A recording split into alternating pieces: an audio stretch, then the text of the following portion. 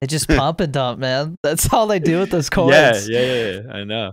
You see what Uh, happened recently, like with uh, the coin for some of the the FaZe guys. Yeah, I was going to talk about that coin? too. That was the other thing. Uh, people have been asking what I think about that, and I'm just like, dude, the three guys that got suspended, I think those guys should kick too. It's messed up. Yeah. What exactly happened? I was out of the loop on that. Sam might know more in detail. Like I kind of skimmed through it, you know. Yeah, but basically what happened is uh, some FaZe members i think it was FaZe Kay FaZe Jarvis and i think Sommer Ray was in RiceGum but the big guys were FaZe Kay and FaZe Jarvis. They basically were uh, marketing an altcoin it was called the save the kids coin. So it was Mhm. very much marketed as hey if you buy in and as this goes up like profits whatever it's all benefiting kids. So it's very much like a charity coin. And they were like on all their socials promoting it hey Pump like if up. you get in now we'll give you um like we'll double your amount that you have. And then somebody did some investigation on the back end because the wallets are public and they saw that these people upon receiving their share of the coins like immediately sold it. In other words like they never believed in this coin. They always thought it was shit. They just wanted to pump it up but they didn't want any part so basically they like marketed it to everybody got it to go up like a classic pump and dump but they were never in it to begin with. Like they never believed in the asset that they were promoting and like they they basically robbed people in a lot of ways because like none of the profits then went to the save the kids Yeah. stuff.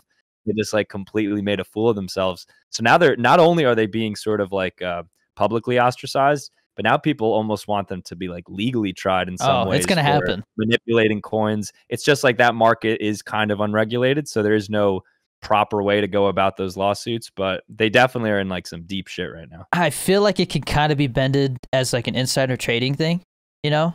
And I mean those I mean they go after you for like big money. So Isn't that I what think- happened with like the Valorant? Uh, no, it was CS:GO skins. Isn't that Yeah. what happened back in the There day? was- the same exact thing. there was some like Wait, it was it was like a it was like a CS:GO slot website and people were promoting it, but it, it was a big streamer who actually like owned stake in it. And so Is it He- T he- Martin? I it might have who it been, but it was literally like rigged. So like he's winning all this Yeah. stuff, and he's like, dude, this is like I'm making money. You know, like I like I'm never gonna have to pay for a video game again. You know, like it's all Steam credit or whatever. Um, and Mm. all these people put their money into it and just lose it all. You know, thinking Yeah. that they're gonna get all this Steam credit out of it, and so it was a big lawsuit, and shit stuff like that. the co-owner or whatever of it. And he got he got kicked out of like a big uh, I think it was like a big gaming entertainment company. I can't remember what it was.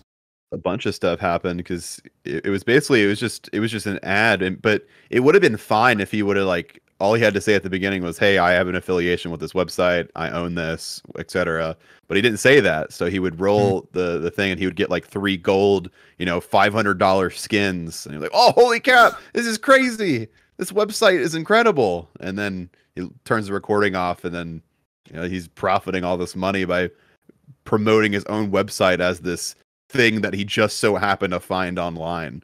So Yeah, I mean, it's kind of like the slots thing uh, on on on Twitch. I don't know if you guys have been following any of that. I'm surprised it doesn't get talked about more. I think the uh, hot tub meta and the ASMR meta kind of took over the the drama Slots. What is what But- is this? slots. heavy slot drama So they, so there. I mean, you see XQC, Adin Ross, the train wreck crew, all of them playing slots, and I mean they're playing with big money. They'll put in like hundred k, and they'll just sit there for like eight hours playing slots, and they're like, "Oh my gosh, I'm making so much money," or they're losing a bunch of money. You know, uh, I I sat there while I was editing one time, watch XQC do it for four hours. It's it's just it's entertaining. I mean, you're watching somebody mess with real money. You know, it's all crypto, so that's how they get around doing it in the U.S. is because it's in it's crypto. It's not U.S. dollars.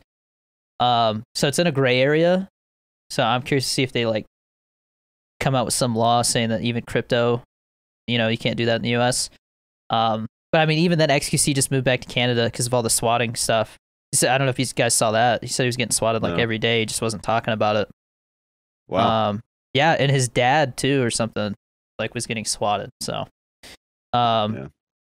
yeah, but That's something I'm worried about too. Swatting. I I live on a military base though, so it's like kind of a little bit harder for people to do shit like that. But yeah, Yeah, that's a I scary mean- reality. I've I've had the discussion with my wife. Uh, there, there's somebody who's been like threatening to dox me recently, some kid. Um, and You know, I mean, it's not much you can do. But I live in a gated community, so it's and and once Yeah. we buy a house, I plan on buying one in a gated community too. So not anybody can just stroll up, but you know, if if somebody swats me, I've already reported stuff to the local police department and stuff. So if somebody tries to swat me, it gets generated as a, a police report saying, "Hey, this guy's a streamer. He's had threats, this and that." You know, they threatened to swat him, and so hopefully that's the difference between a SWAT team showing up and like a couple officers knocking on the door saying, "Hey, you know, we know you're a streamer and this and that. So is everything all right? Can we Yeah. look around?" You know, so hopefully that works out. Um, but I mean, there's nothing you can do about it, man.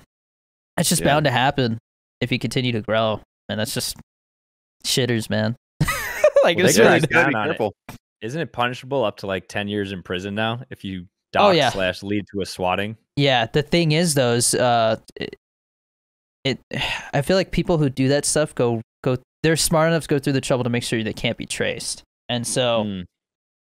like it, you can report it to the authorities. It might get forwarded to the FBI, but if it's if it's you know, it happens so much to streamers and stuff that it's like, is it really worth the FBI's money to to go find some some twenty year old kid sitting in his basement going, hey, hey, I'm gonna swat this guy? You know, like, is it really worth it to them? Taxpayer Yeah. dollars. I think it really depends on the severity of the situation. Like, I feel like if somebody were to get killed in the process, then that would be like That's- really where they they start looking into it. But if it's just like a procedural like type, Yeah. like, you know, people come check in the door or whatever. I mean, like I've I've told my wife like you you know you just cooperate, don't say anything, don't argue. You know, you just say like my husband's upstairs streaming, you know, and then they come in and it's like all right, you know, then we talk. They look around. It's the end of it. The only time people have died is when they they you know acted delirious or like they were drunk or didn't know what was going on, and yeah. you know, it it's just you know act calm, don't make sudden movements, you know, stuff like that. It's just it's like getting pulled over. yeah, five good So- subs and I'll act like a fucking idiot right now.